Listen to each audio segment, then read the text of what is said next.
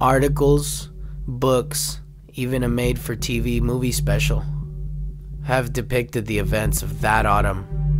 They tend to focus on the disappeared children. I wish they didn't do that. They have it all wrong. The story doesn't start with any kind of disappearance.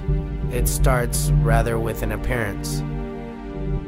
The disappearances began with Justin Dorsey and continued almost weekly alone and unnoticed by almost everyone. I saw things others did not.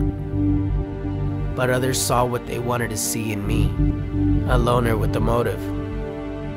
As they circled, I had to race to save myself and to clear my own name. I only wanted to show them all that there was more to me than they thought.